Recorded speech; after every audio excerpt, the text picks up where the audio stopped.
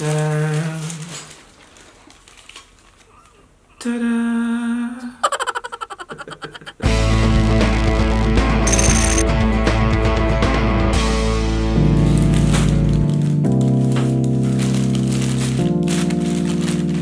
Meron tayong package delivery from Amazon. Buksan natin. O kaya ito.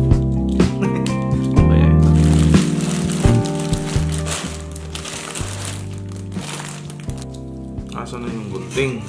Ito, ito yung maliit kong gunting. Maliit kong gunting na bigay ni Gingging.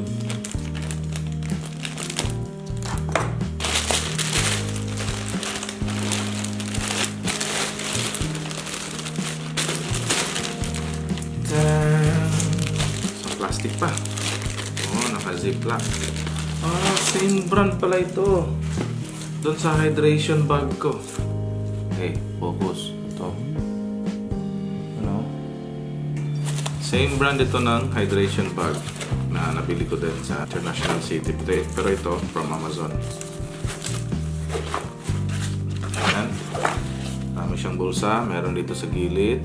May dalawa sa gilid. Ito, meron sa dulo. Tapos, ito yung main compartment niya.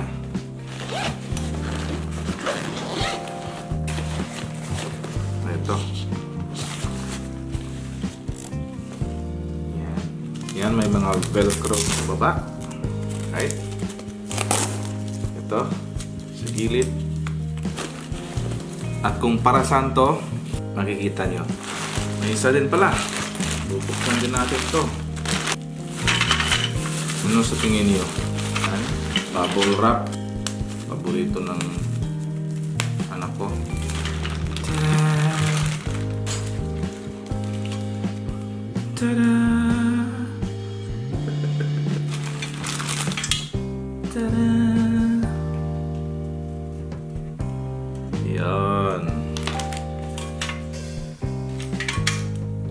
Bike back rack. Para sa bisikleta natin to. Yung mga kasama, may mga Allen wrenches. Ayan. Tapos, mayroong stretchable na ano. Yan, pantali. Meron to para sa gilid. May mga lock or clamps. Yung tawag yan.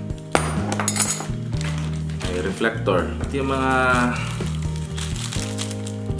bolt, mga bolts, tsaka nuts dito. So itong bike rack, nakuha ko to from Amazon, amazon.ae. Pati rin itong bag na to. Dito to ilalagay. Di ba? Yan. Kung bakit tayo bumili nito, mamaya, papakita ko rin sa inyo. Pero just in case, kung gusto nyo ring ah, makabili nito, ah, makikita nyo yung dalawang link sa baba, sa description. Pakicheck na lang. Andun yung presyo. Pero pagpasok nyo sa mismong sa Amazon, marami din kayong mapapipili ang uh, different brands doon. So, not necessarily ito yung kukunin nyo. Depende na rin yan sa inyo. Kung gusto nyo magkaganito. Disclaimer, this is not a sponsored vlog. Wala pong kinalaman ng mga brands sa episode na to.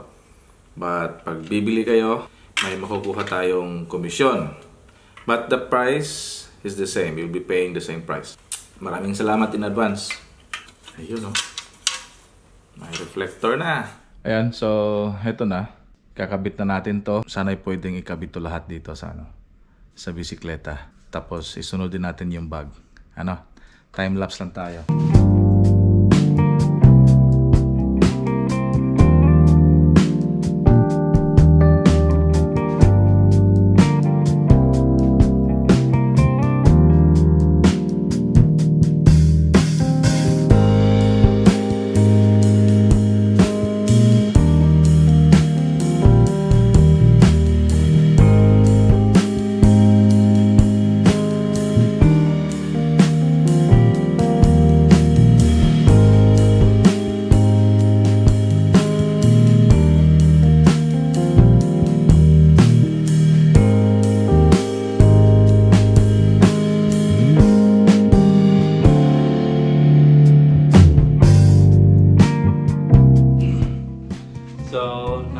natin yung wrap.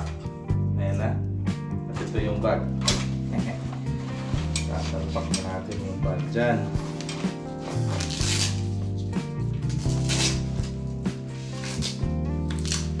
Tapos yung yung wrap mismo, may kasama siyang ito.